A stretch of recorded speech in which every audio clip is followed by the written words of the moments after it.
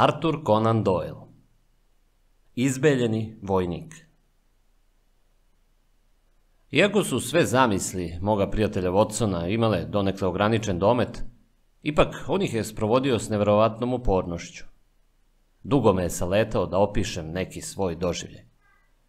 Možda sam ga i sam postakao da mi dosađuje time, jer sam često bio u prilici da mu ukažem na površnost njegovih izlaganja i optuživao ga zbog njegovog podvođenja sa ukusom široke publike, umjesto da se ograniči na strogo izlaganje činjenica i brojki.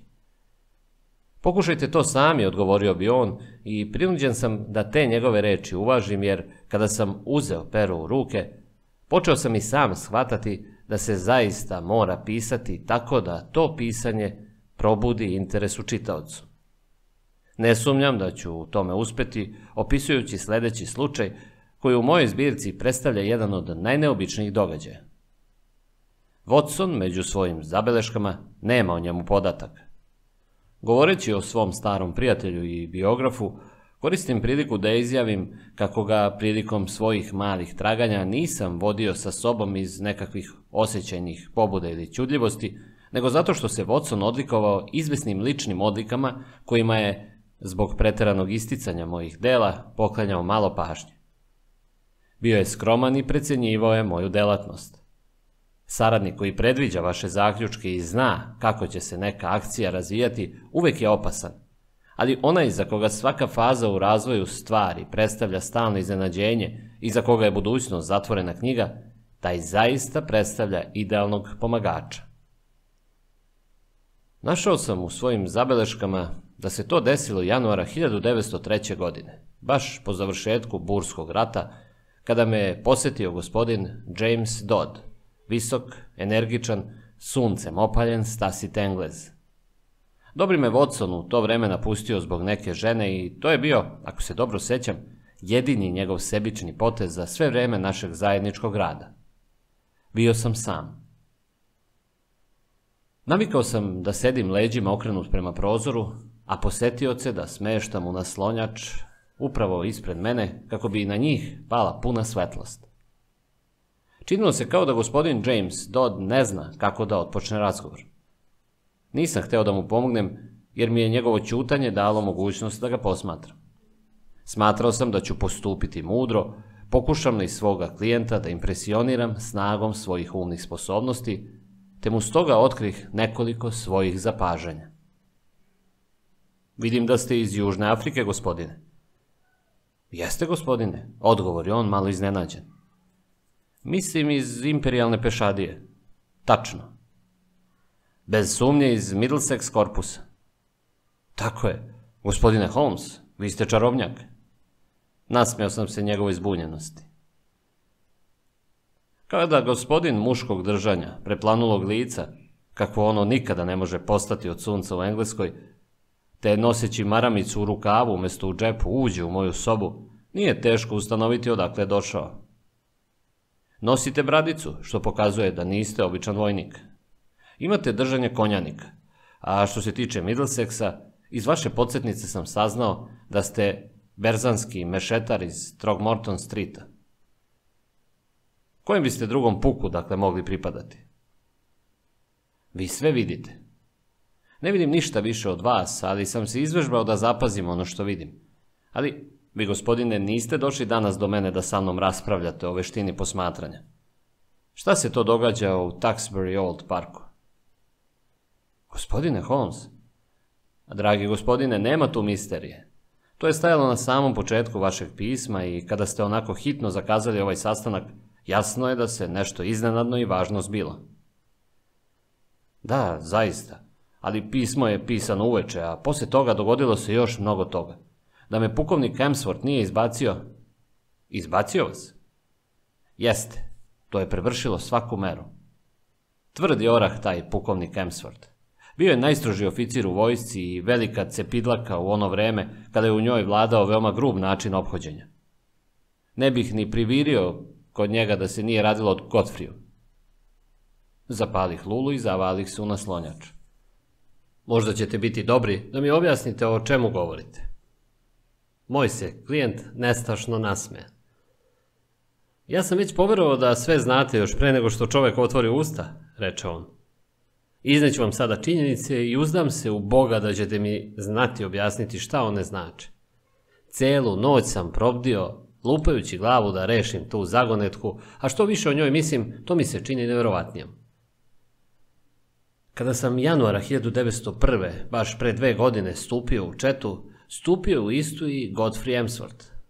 On je bio jedini sin pukovnika Emswortha, nosioca krimskog ordena Viktorijinog krsta. Godfrey je po svojoj borbenosti ličio na svoga oca i nije čudo što je dobrovoljno stupio u vojsku. U celom puku nije bilo boljeg momka. Sprijateljili smo se. Bilo je to prijateljstvo koje se može stvoriti samo tako da se živi istim životom, da se dele iste tuge i radosti. Bio mi je drugar, a to mnogo znači u armiji. Za godinu dana teških borbi delili smo i dobro i zlo. Ali tada ga je pogodilo Tane u borbi blizu Diamond Hilla, nedaleko od Pretorije. Iz bolnice u Cape Townu dobio sam jedno pismo, a drugo je stiglo iz Southamptona. Od tada više ni reči, gospodine Holmes, već duže od šest meseci, a bio mi je najprisniji drug. Zatim se završio rat i mi smo se vratili kući. Pisao sam njegovom ocu i pitao za Godfrija. Nikakvog odgovora. Čekao sam neko vreme i pisao ponovo. Tom prilikom sam dobio kratak i osoran odgovor.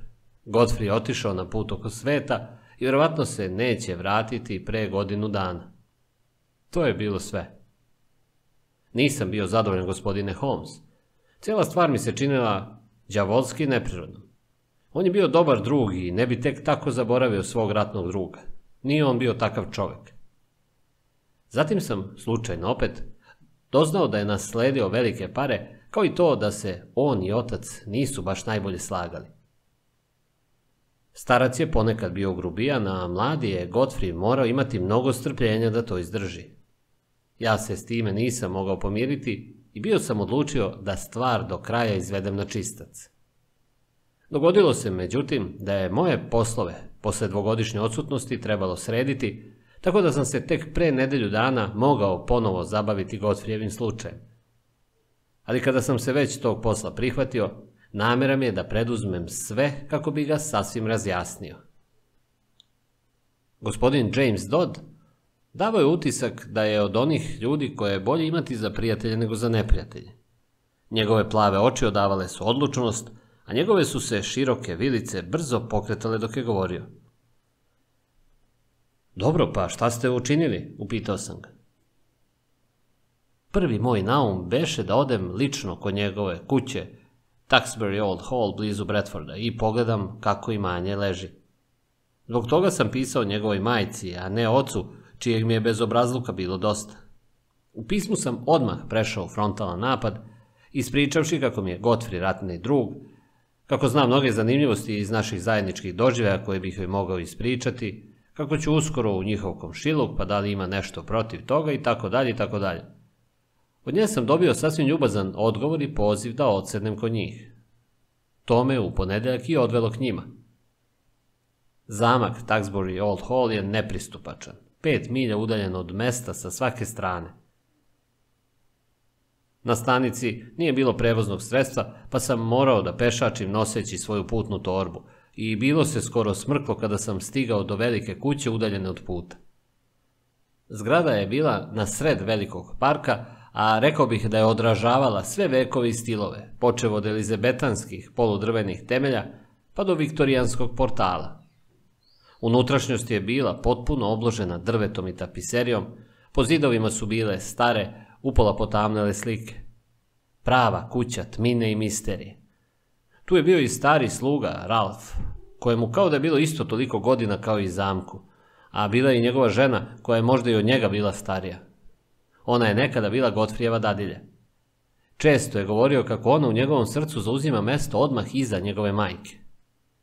To je bio razlog da mi je postala draga uprkos čudnoj spoljašnosti. Zavolio sam isto tako i majku. Izgledala je kao mali beli miš. Samo sam pukovniku bio na teretu. Sukobili smo se odmah na početku i možda bih se i odmah vratio na stanicu da nisam pomislio kako on svoju igru i podešava tako da to ja i učinim. Uveden sam pravo u njegovu sobu za rad. Zatekao sam ga onako glomaznog, pogrbljenog, puti boje duvana, brade bujne i sede, kako sedi pored svog pretrpanog pisaćeg stola. Nos, nalik na kljunu orlušine, sav se crveni od debelih vena, a dva vatrena siva oka upiljila su se u mene ispod čupavih obrva. Činilo mi se da shvatam zašto je Godfrey redko govorio o svom ocu. Dobro, gospodine, rekao je on hrapavim glasom. Želeo bih znati pravi razlog vaše posete. Odgovorio sam da sam razloge izložio u svom pismu njegovoj supruzi. Da, da, vi ste kazali da ste poznavali Godfrija u Africi. Mi za tu tvrdnju naravno imamo kao dokaz samo vašu reč. U džepu imam njegova pisma. Budite ljubazni pa mi ih pokažite. Letimično je pogledao dva pisma koje sam mu predao, a zatim ih vrati. Dobro, pa šta onda? Upita. Ja volim vašeg sina Gotfrija, gospodine. Spajaju nas mnoge veze i doživljaj. Nije li prirodno što se čudim zbog njegove iznadne čutnje i što bih želeo da saznam šta je s njim? Sjećam se, gospodine, da sam se dopisivao sa vama i da sam vam javio šta je s njim. Otišao je na put oko sveta. Njegovo zdravstveno stanje posle boravka u Africi bilo je veoma loše, te smo njegova mati i ja smatrali da je potrebno da se potpuno odmori i promeni način života. Budite dobri, pa ovo obaveštenje dajte svakom drugom prijatelju koji bi se eventualno raspitivao za Gotfrija. Hoću, gospodine, sigurno, odgovorih, ali ne biste li bili ljubazni te mi kazali ime broda i pravac kojim je brod otlovio, a i datum? Verujem da bi ga moje pismo negde pronašlo. Moja molba očito je zbunila i razdražila mog domaćina. Njegove se velike obrve spustiše nad očima i on je nestrpljivo lupkao prstima po stolu. Najzad me je pogledao onako kao što pogleda šahista kada primeti da mu je protivnik povuka opasan potez, a on je odlučio da suzbije opasnost.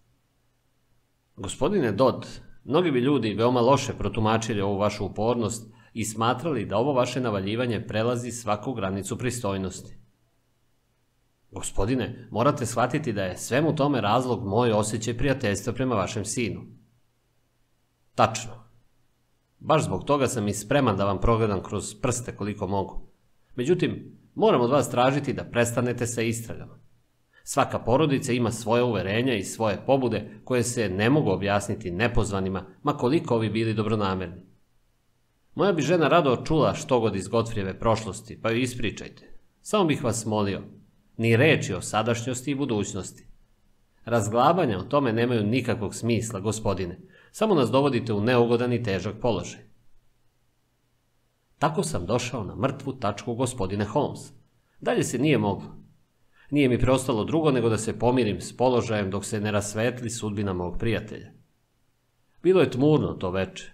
Večerali smo nas troje u mračnoj drvenoj sobi. Gospođa se žudno raspitivala o svom sinu, a starac je izgledao mrzovoljan i utučen. Tako mi je sve što se tu zbivalo bilo neugodno da sam ih čim sam mogao sa puno obzira napustio i povukao u svoju spavaću sobu. Bila je to velika, dosta prazna soba u prizemlju, mračna kao i ostale u ovoj kući, ali posle dugog noćivanja pod šatorima gospodine Holmes, čovjeku je sasvim svejedno gde će prespavati. Skupio sam zavese, Pogledao kroz prozor i video da je noć lepa, te da na nebu sija sjajan polumesec. Zatim sam seo pored razbuktale vatre uz sto na kome je bila svetiljka i pokušao se razonoditi jednim romanom. Međutim, u čitanju me je prekinuo Ralf, stari sluga koji je uneo novu kantu uglja. Mislio sam da neće biti dosta za noć, gospodine. Oštra je zima, a sobe su hladne. Oklevao je da napusti sobu i kada sam se osvrnuo, on je stajao i gledao me tužnim pogledom. Oprostite, gospodine, ali nisam mogao da ne čujem šta ste za vreme večere govorili o mladom gospodaru Godfriju. Vi znate, gospodine, da mu je moja žena bila dadilja, tako da bih mogao reći da sam mu poočim. Prirodno je da nas zanima sve o njemu. Kažete, gospodine, dobro se držao. Nije bilo hrabrijeg čoveka u našem puku. Jednom izvukao kada su buri žestoko osuli po nama i da nije bilo njega, ja danas ne bih bio ovde. Stari sluga zadovoljno protrlja svoje suve ruke. Jeste, gospodine, jeste. To je gospodar Godfrey. Zaista je takav. Uvek je bio hrabar. U parku nema drveta gospodine na koje se nije popeo. Ništa ga nije moglo zadržati. Bio je fin dečak i, ah gospodine, bio je fin čovek. Ja skočim i stanem. Pazite, viknem, vi govorite bio je. Govorite o njemu kao da je mrtav. Kakva je ovo tajna? Šta je bilo s Godfrijem Emsworthom? Zgrabio sam starca za ramena, ali se on istrgao i onako poguren krenuo prema vratima. Ne znam šta hoćete, gospodine. Pitajte o tome gospodara. On zna. Ne priliči mi da se uplićem u njihove poslove. Hteo izaći iz sobe, ali ga ja zgrabih za ruku. Slušajte, rekoh. Vi mi morate odgovoriti na jedno pitanje, pa makar vas ovdje morao zadržati celu noć. Je li Godfrey mrtav? Nije mogao izdržati moj pogled. Bio je kao hipnotisan. Odgovor se otkinuo s njegovih usana. Bio je strašan i neočekivan. Bilo bi mi draže da je mrtav, tako mi Boga. Vikne, pa otrgnuši se od mene izjuri iz sobe. Razumećete, gospodine Holmes, da se na svoju stolicu nisam vratio u najboljem duševnom raspoloženju. Izgledalo mi je da se reči ovog starca mogu tumačiti samo na jedan način. Sigurno se moj jadni prijatelj upleo u neki protivzakonit posao ili bar u neku nečasnu transakciju kojom je okaljana čast porodice. Strogi starac poslao je svoga sina od kuće i sakrio ga od sveta da ne bi skandal izbio na videlo. Godfrey je bio bezbrižan čovjek. Na njega su mogli uticati oni koji su se motali oko njega. Nema sumnje, upao je u loše društvo i to je skrivilo njegovu propast. Slučaj vredan sažaljenja, ako je tako izgledala stvar, ali čak i onda mi je dužnost nalagala da ga pronađem i, bude li moguće, pokušam mu pomoći. Zabrinuto sam o tome razmišljao, kad odjednom ispred sebe ugledam Godfrey Emsforta. Moj klijent zastane kao neko ko je vrlo uzbuđen. Molim, nastavite, rekoh. Vaš problem poprima potpuno neočekivan razvoj. On je stajao s polja, sa one strane prozora gospodine Holmes, lica naslonjenog na staklo. Kazao sam da sam pre toga gledao napolje u mrak. A kada sam se povukao od prozora, ostavio sam zavese, delimično povučene u stranu. Njegov se lika uokviren našao između polunavučenih zavesa. Prozor se spuštao sve do tla, tako da sam ga mogao vidjeti u cijeloj njegovoj visini. Ali moj se pogled zadržao na njegovom licu. Bilo je mrtvački bledo. Nikada nisam vidio tako bledo lice. Možda sablasti tako izgledaju, ali njegove su se oči srele s mojima, a to su bile oči živog čoveka. Kada je opazio da ga posmatram, odskočio je unatrag i nestao u tami. Ima nečeg potresnog u vezi sa ovim čovekom, gospodine Holmes. Nije stvar samo u onom sablasnom, poput sira belom licu. Bilo je tu neke dovitljivosti, nečega što se prikrada, nečeg skrivenog, nečeg grešnog, nečeg što nikako ne priliči otvorenom, muškom licu mladića koga sam poznavao. U moje svesti ostavilo osjećaj groze. Ali kada je čovjek godinu ili dve proveo u ratu boreći se protiv braće Bura, on zna vladati svojim živcima i brzo postupati. Jedva što je Godfrey nestao, a ja sam već bio kod prozora. No, kako je prozor imao neku nepraktičnu rezu, izgubio sam nešto vremena dok sam ga otvorio. Brzo sam iskočio napolje i pojurio vrtnom stazom u smeru kom je, po mom mišljenju, i on bio krenuo. Staza je bila duga i slabo osvetljena, ali mi se učinilo da se nešto ispred mene kreće, te sam potrčao vičući njegovo ime, no uzalud. Kada sam stigao na kraj staze, staza se račvala u nekoliko novih, od kojih je svaka išla u drugom smeru.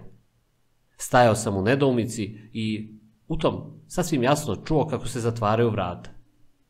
Zvuk nije dolazio iz kuće koja je bila iza mene, nego ispred mene, negde u mraku.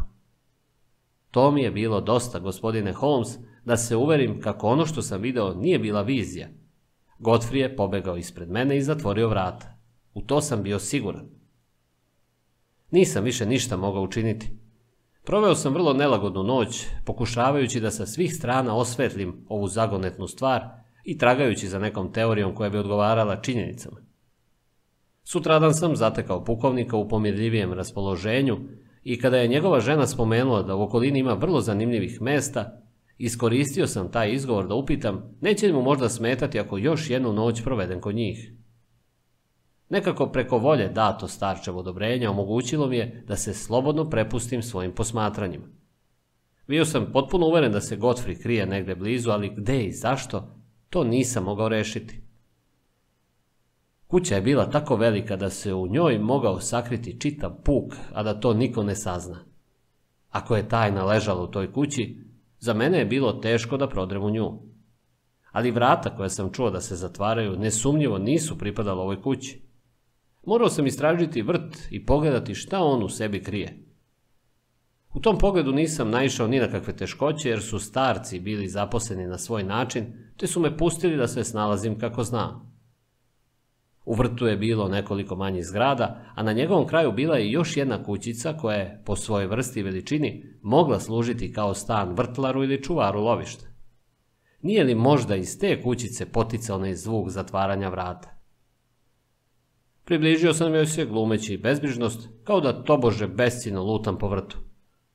Dok sam tako šetao, jedan živahan i bradat čovek sitnog rasta u crnom modelu i s krutim šeširom na glavi Čovek, dakle, čija spoljašnjost nije odgovarala spoljašnjosti jednog vrtlara, izađe iz kućice. Na moje iznenađenje, zabravio je vrata i ključ stavio u džep. Jeste li vi ovde u poseti, upita me. Odgovorio sam potvrdno i uz to pridodao da sam Gotfrijev prijatelj. Kakva šteta što je otišao na to svoje putovanje, jer bi ga sastanak sa mnom sigurno razveselio, nastavio sam. Svakako, Neosporno bi ga veselio, reče on, kao da se osjeća krivi. Vi ćete sigurno doći ponovo u posetu u zgodnije vreme. On produži svojim putem, ali kada sam se okrenuo, primetio sam kako upola sakriven stoji iza jednog javora, daleko na kraju vrta i motri na mene. Dobro sam pogledao kućicu kada sam prolazio pored nje. Na prozorima su bili potpuno navučene zavese i činilo se da je kućica bila nenastanjena. Mogao sam nastaviti ovu svoju igru, ali mi se pri tome moglo dogoditi i to da me oteraju sa imanja ako pokažem preteranu smelost, čega sam stalno bio svestan jer su na mene motrili. Zbog toga sam se okanuo dalje šetnji i vratio natrag u kuću, čekajući da padne veče pa da nastavim svoje istraživanje. Kada je pao mrak i sve se smirilo, provukao sam se kroz prozor što sam tiše mogao i uputio se prema misterioznoj kućici. Rekao sam već da su prozori kućice bili zamračeni zavesama, ali sada su čak i kapci bili zatvoreni. Ipak, nešto se svetlosti probijelo kroz jedan kapak, te sam na njega usresredio pažnju. Imao sam sreće jer zastor nije bio sasvim navučen, a osim toga na kapku je bila pukotina, tako da sam mogao videti unutrašnjost sobe. Bila je to dosta lepa prostorija u kojoj je plamsala vatra i gorelo svetlo. Nasuprot meni sedao je mali čovek koga sam tog jutra video pušio i čitao novine. Kakve novine? upitao sam. Mog klijenta kao da iznenadilo to što sam ga prekinuo. Zar je to važno? To je od bitne važnosti. Ja stvarno nisam zapazio. Možda ste opazili jesu li to bile novine velikih, širokih listova ili one manjega formata, kakav obično imaju nedeljnici. Sad kad ste to pomenuli, sećam se da su novine bile malog formata. Možda je to bio spektator, ipak nisam mnogo mislio na takve pojedinosti, jer još jedan čovjek je bio u sobi, a taj je sedeo okrenut leđima prema prozoru. Smeo bih se zakleti da mi je bila dobro poznata krivina njegovih ramena. Naslonjen na lakat, kao da je zapao u stanje teške tuge. Telo mu je bilo okrenuto prema vatri. Stajao sam u nedoumici i pitao se šta da radim, kad li me oštri udarac pogodi u rame. Pored mene je stajao pukovnik Emsworth. Ovim putem, gospodine, reče on potpunim glasom. Ćuteći je pošao prema zamku, a ja sam ga pratio u svoju spavaću sobu. U predsoblju je sa stola digao red vožnje. Voz za London ide u 8.30, reče on. Dvokolica će biti pred vratima u 8. Bio je besan i bled kao krpa, a ja sam se pak našao u teškom položaju. Promucao sam nekoliko reči izvinjenja bez veze, pokušavši sebe nekako opravdati, navodeći da sam zabrinut za svog prijatelja. O ovome nema više nikakve diskusije, reče on. Vi ste na najbesramniji način povredili naš privatni život. Došli ste ovamo kao gost, a poneli ste se kao špijun. Ništa vam drugo, gospodine, ne mogu reći, osim da mi je želja da vas moje oči nikad više ne vide. Na ovo, gospodine Holmes, ja izgubih strpljenje, te sam mu dosta žustro odgovorio. Ja sam vašeg sina video i uveren sam da ga vi zbog nekog svog ličnog razloga krijete od sveta. Nemam pojma zašto ga ovako izdvajate, ali vas opominjem, pukovniče, da neću posustati u nastojanjima da do kraja ispitam ovu misteriju ukoliko ne dobijem garancije u pogledu sigurnosti i dobrobiti svoga prijatelja.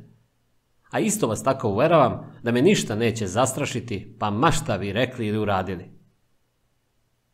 Starac je opako zakoluta očima i tako mi Boga mislio sam da će me napasti. Rekao sam već da je on bio ljudina surove naravi, pa iako ni ja nisam slabić, možda bih mu se teško bio odupro. Ipak, pošto me dugo i ljutito merio, on se okrenu i izađe iz sobe. Što se mene tiče, ja sam naznačenim vozom to jutro otputovao, tvrdo odlučivši da dođem pravo kod vas i zatražim od vas savjet i pomoć, nakon što sam vas prethodno pismeno zamolio za sastanak. Takav je bio problem koji mi je izložio moj posetilac. Kao što ste već primetili, nekoliko teškoća pojavilo se u vezi s njegovim rješenjem, ali na sreću postojalo je samo nekoliko alternativa da se dođe do suštine zagonetke. Mada je rješenje problema bilo tek u začetku, ipak je nekoliko bitnih i to novih i zanimljivih pojedinosti upadalo u oči, zbog čega mi se mora oprostiti što sam ga uneo u ovaj zapis. A posluga, upitah, koliko ih ima? Po mom mišljenju postoji samo stari sluga i njegova žena. Oni, kako se čini, žive najobičnijim načinom života. A nije li bilo još nekih slugu u kući? Nije, ukoliko onaj čovečuljak s bradom nije sluga. No, on je izgledao kao vrlo ugledna osoba. To izgleda veoma značajno. Jeste li po nečemu opazili da je iz jedne kuće u drugu nošena hrana? Sada kada to pomenuste, sjećam se da sam starog Ralfa video kako s košaricom u ruci ide u pravcu kućice. Onog trenutka nije mi ni pala na um misa o hrani. Da li ste se raspitivali šta u okolini imaju? Jesam. Govorio sam sa šefom železničke stanice, a isto tako i sa gostioničarem u selu. Jednostavno sam ih pitao da li nešto znaju o mom starom drugu Godfrey Emsworthu. Obojca su me uveravali da je otišao na put oko sveta. On je došao kući, no odmah je nastavio put dalje. Očito je da su svi poverovali u to. Niste ništa govorili o svojim sumnjama? Ništa. Vrlo mudro. Ovu stvar svakako treba ispitati. Ja ću s vama nazad u Taxbury Old Park. Danas? Dogodilo se međutim da sam ja baš nekako u to vrijeme rešavao slučaj koji je moj prijatelj Watson zabeležio kao događaj u manastirskoj školi, a u koji je bio jako upleten vojvoda od Grey Ministera. U to vrijeme sam dobio isto tako neki zadatak od turskog sultana u kojem je trebalo hitro delovati jer bi inače mogli nastupiti ozbiljni politički zapleti. Zbog toga, kao što je zapisano u mome dnevniku, sve do početka naredne nedelje nisam mogao krenuti s gospodinom Jamesom Dodom u Berfordshire da ispitam ovu stvar. Kada smo se dovezi do stanice Houston, poveli smo sa sobom jednog ozbiljnog, čutljivog gospodina, čelično sivog izgleda, s kojim sam se prethodno bio sporazumeo o svemu što je bilo potrebno. Ovo je moj stari prijatelj, rekoh Dodu. Možda će njegova prisutnost biti potpuno nepotrebna, ali s druge strane može biti od bitne važnosti. Pri sadašnjem stanju stvari nije potrebno ulaziti u dalje pojedinosti. Ko je slušao Watsonove zapise, taj po svoj prilici zna da sam ja, dok se neki slučaj još istražuje, škrt na rečima i ne odajem svoje misli. Dod kao da se iznenadio, ali ništa više nije rečeno i mi zajedno nastavi smo putovanje. U vozu sam postavio Dodu još poneko pitanje s kojim sam želeo da se upozna i naš saputnik. Pričate da ste sasvim jasno vidjeli lik svog prijatelja na prozoru. Toliko jasno da ste uvereni kako je to bio baš on, a ne neko drugi. U to ni najmanje ne sumnjam. Nos je upravo u prozorsko staklo. Svetlost lampe padala je na njega. Nije li to možda bio neko komu je sličan? Ne, nikako, to je bio on. Ali vi kažete da se izmenio. Samo u boji lica. Lice mu je bilo, kako da ga opišem, bilo je belo kao trbuh neke ribe. Svoje izgledalo. A je li svuda bio tako beo? Mislim da nije. Tako mu je bilo čelo kada ga je pritisnuo na prozor. Jeste li ga zvali? Previše sam u tom trenutku bio iznenađen i zaplašen, a zatim sam pošao za njim, kao što sam vam rekao, ali bez rezultata. Slučaj mi je gotovo u potpunosti bio jasan. Trebala se ispitati još samo jedna okolnost. Kad smo posle duge vožnje stigli pred čudnu staru kuću koju je moj klijent opisao, stari sluga Ralf otvorio nam je vrata. Bio sam u najmio kočiju za čitav dan i zamolio starijeg prijatelja da ostane u njoj dok ga ne pozovem. Ralf, stari smežurani sluga, bio u livreji kakve se obično nose, crni kaput, belo-sive pantalone, ali je na sebi imao i nešto što mu uz to nije priličilo. Mrke kožne rukavice. Kada nas je opazio, odmah ih je svukao s ruku i dok smo prolazili kroz predstoblje, stavio ih je onda na sto. Ja, kao što je to zapazio moj prijatelj Watson, imam izvanredno oštro razvijen osjećaj zapažanja, pa sam odmah osjetio slab, ali ipak određen miris koji je dopirao sa sredine stola. Okrenem se i stavim tamo svoj šešir, a zatim se sagnem da ga uzmem i pritom pokušam približiti svoj nos što više rukavici. Na bome osjetio sam da odišu neobičnim mirisom, kao od katrana. Ušao sam u sobu za rad, svestan da sam rešio taj zagonetni slučaj. Vrlo mi je žao što još dok je pričanje u toku moram otkriti svoju veštinu. Watson je baš prikrivanjem takvih veza u nizu događaja uspevao na neobično zanimljiv način završiti svoje pripovesti. Bukovnik Emsford nije bio u svojoj sobi, ali je dosta brzo stigao, čim ga je o našem dolasku obavestio Ralph. Čuli smo njegov brzi, težak hod, još dok je prolazio hodnikom. Vrata se rastvoriše i on je grunuo unutra razbarušene brade i tako izobličenog lica da u životu nisam video strašnijeg starca. U rukama je držao naše podsjetnice, zatim ih je pocepao, te izgazio na pod popadale komadiće. Zar vam nisam kazao, prokleti nametljivče, da ne dolazite više na moje imanje? Da se nikada više niste usudili pojaviti se ovdje s tom svojom odvratnom njuškom? Ako ponovo bez mog odobrenja dođete ovamo, koristit ću se svojim pravom da primenim silu. Pucat ću vas, gospodine. Tako mi Boga pucat ću. A što se vas tiče, gospodine, reče okrenuši se meni, tu opomenu protežem i na vas. Meni je poznato vaše bedno zvanje, ali vi treba da svoje opšte priznate sposobnosti upotrebite na nekom drugom mestu. Za njih ovdje nema hleba. Ja odavde ne mogu otići, reče moj klijent odlučno, dok od svog prijatelja Godfrija lično ne čujem da nije ni pod kakvom prinudom. Naš, nazovi domaćin, pozvoni. Ralf, reče on, telefonirajte pokrajinskoj policiji i zamolite inspektora da pošalje dva policajca. Recite mu da su u kući provalnici. Jedan trenutak, rekoh ja.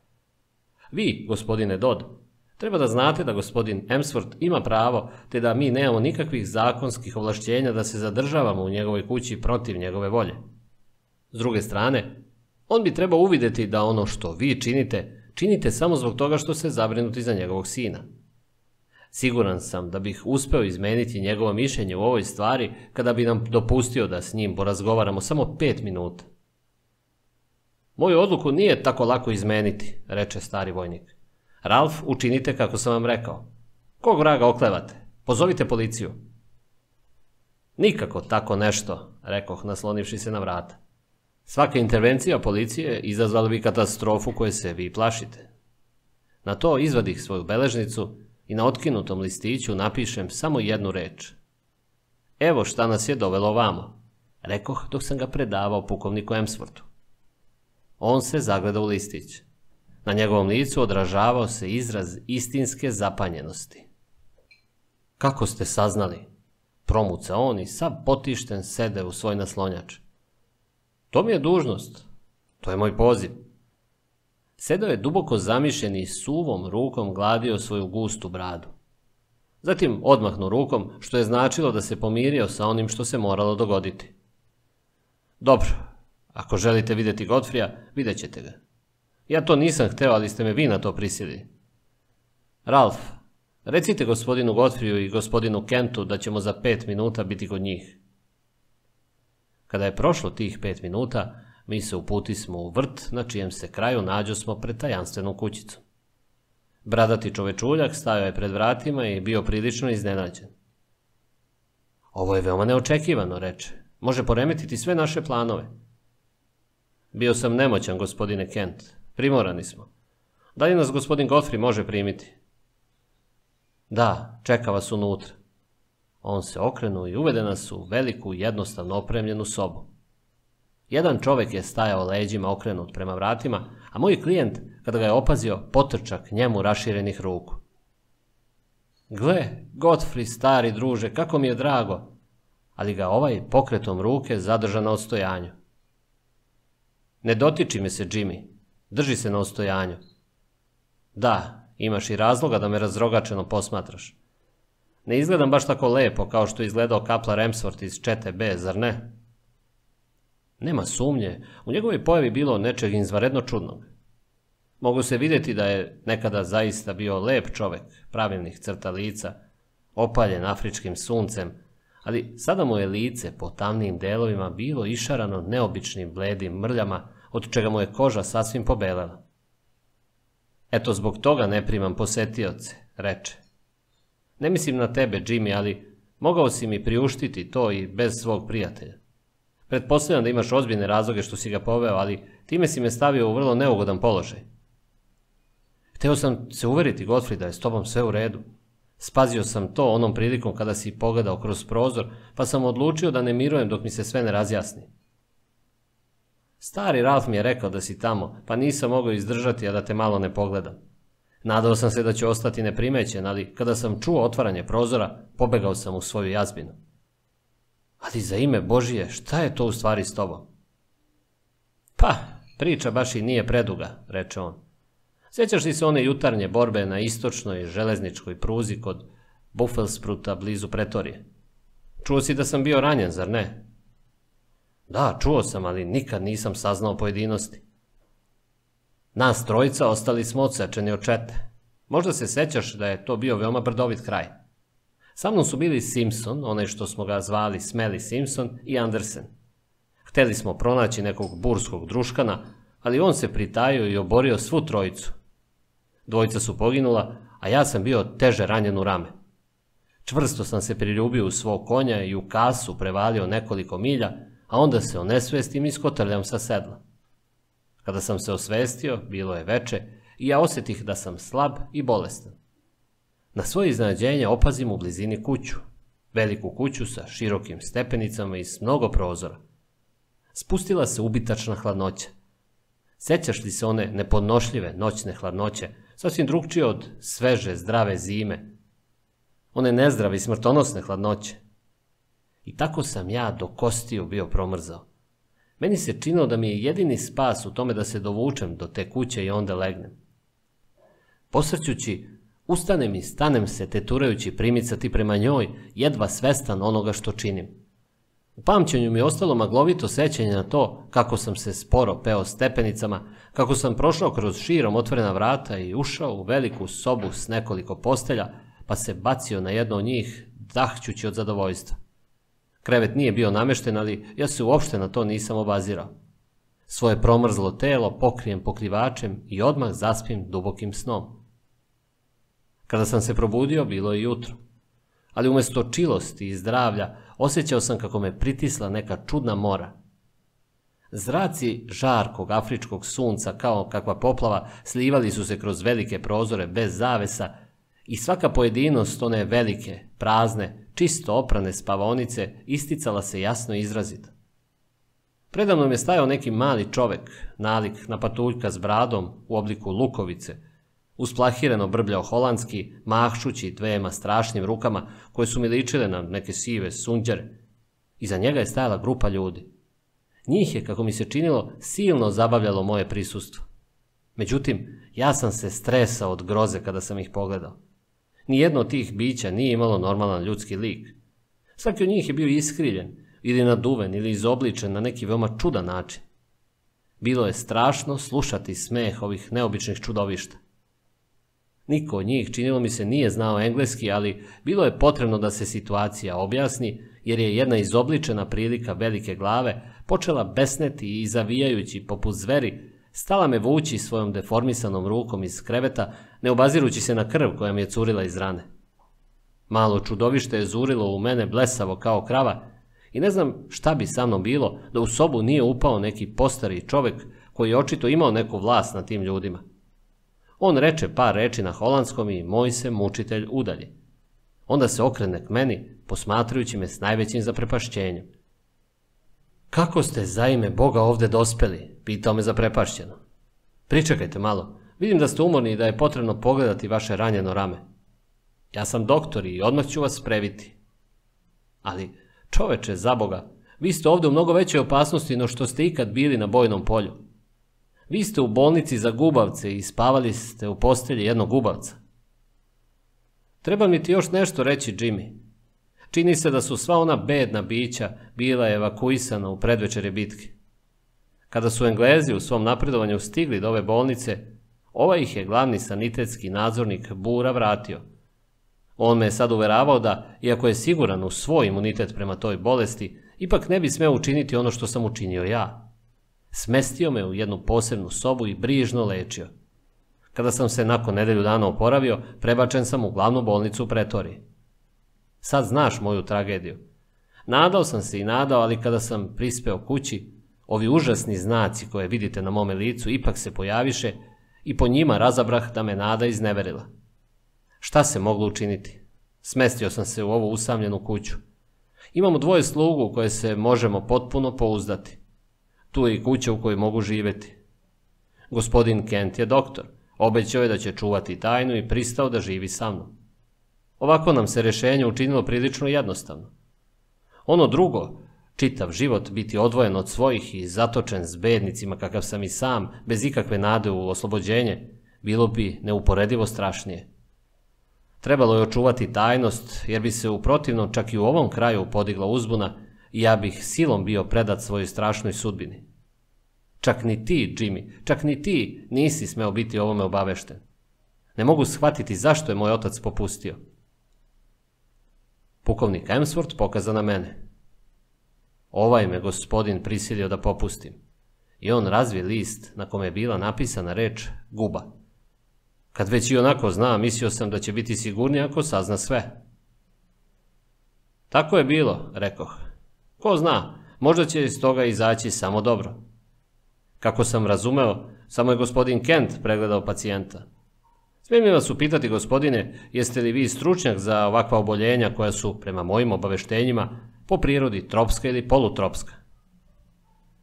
Ja sam doktor opšte praksi i kao takav znam sve ono što doktor redovno treba da zna, odgovori on nešto kruto. Ne sumnjam, gospodine, u vaše sposobnosti, ali ja sam uveren da ćete se saglasiti sa mnom kada kažem da bi u ovakvom slučaju bilo korisno mišljenje još nekog stručnjaka.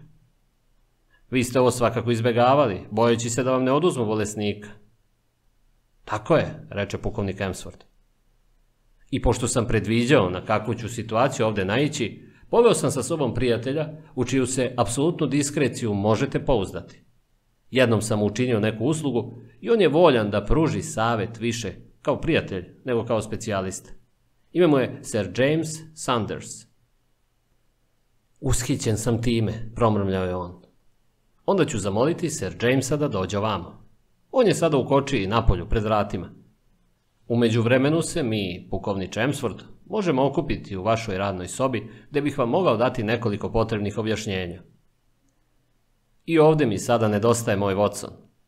Lukavim pitanjima i izlivima čuđenja, on bi moju jednostavnu veštinu, koja nije ništa drugo nego rasuđivanje zdravim razumom, uzdigao u rang čuda. Ali, ipak, ja ću ovdje izložiti tok svojih misli, kao što sam to učinio u radnoj sobi pukovnika Emsforta pred malim brojem slušalaca, među kojima je bila i Gotfrijeva majka. Rekao sam ovo. Ja u svojim postupcima polazim od pretpostavke da kada je izostavljeno sve ono što je nemoguće, nešto ipak ostaje. Ima koliko neverovatna, istina mora postojati. Može se pritom doći do nekoliko sasvim suprotnih zaključaka. U tom slučaju pravi se eksperiment za eksperimentom sve dok se ne dokaže istinitost jednog od njih. Sada ćemo ovaj princip primijeniti i na naš slučaj.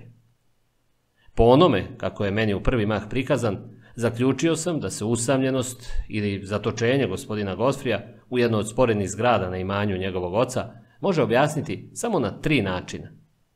Prvo, da se on krije zbog nekog krivičnog dela. Drugo, da je umobolan pa se želi izbeći njegovo smeštanje u duševnu bolnicu. I treće, da je posredi neka bolest zbog koje mora živjeti odvojeno od drugih ljudi. Nisam mogao smisliti nikakvo drugo prihvatljivo objašnjenje. Ova tri su, dakle, morala biti raščišćena i valjalo ih uporediti jedno s drugim. Objašnjenje da se radi o nekom kriminalnom delu nije imalo nikakve realne podloge. Iz ovog okruga nije javljeno da postoji i jedan nerešeni krivični slučaj, u to sam bio siguran. Da je postojalo neko krivično delo koje je ostalo nerasvetljeno, bilo bi svakako u interesu porodice da se delikvent oslobodi i da se pošalje u inostranstvo umjesto da se skriva u svojoj kući. Duševna bolest bila je verovatnija. Prisustvo drugog čoveka u kući navodi na zaključak o čuvaru. Činjenica da je ovaj zabravio vrata kad izašao iz kuće pojačala je tu pretpostavku i ujedno mi nametnula misa o zatvoreničkom načinu života gospodina Godfrija. Ali taj režim sigurno nije bio strog, jer se on inače ne bi mogao osloboditi i doći da vidi svog prijatelja. Vi se sjećate, gospodine Dodd, da sam baš u vezi s tim poduže raspitivao o činjenicama pitajući vas na primjer o novinama koje je gospodin Kent čitao. Da je to bio Lancet ili British Medical Journal, to bi možda pomoglo, jer nikako nije protivzakonito držati umobolno lice na privatnom imanju sve dotle dok je on pod stručnom negom, a pod uslovom da su u tome nadležne vlasti propisno obaveštene. Otkuda onda ta očajna želja da se očuva tajnost? Ni u ovom slučaju pretpostavka se nije slagala sa činjenicama. Ostala je treća mogućnost za koju je, makoliko neverovatna i redka bila, izgledalo da je ona prava. Guba u Južnoj Africi nije redka bolest. Nekim izvanrednim slučajem ovaj ju je mladić mogao dobiti. Njegovi su se našli u strašnom položaju jer su ga želeli spasiti. Velika tajnost bila je potrebna da bi se sprečile glasine o tome i tako izbegle mere koje bi vlasti zbog toga morale preduzeti.